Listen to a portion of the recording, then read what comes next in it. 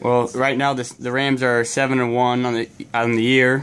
They uh, had a good tournament victories over East Mills and uh, Abraham Lincoln to win the Clarinda tournament. Uh, the boys are ranked fifth in state right now. Um, little preview tonight. They have a game versus uh, Shenandoah at 7:45 down at the the baseball fields, along with uh, Lewis Central tomorrow at home. Uh, they go at Crescent on Thursday, and this weekend they have a, a tournament at uh, Abraham Lincoln.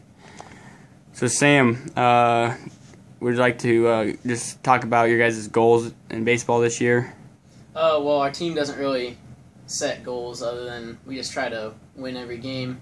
But uh, our first game against Tri Center, we weren't really prepared. I think some of us in track and soccer, we maybe practiced three or four times, so we didn't really play well as a team. But after that, we really started to take off. We've had timely hits to score some runs and beat some good teams. So.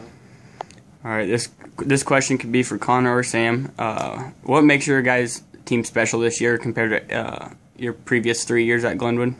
A lot of seniors. Uh, it's a really close knit team. We uh, we've all been playing together since we were real little, and uh, I mean, it just feels like everybody gets along, and that we all have the same goal, of getting deep into the season and deep into the state tournament.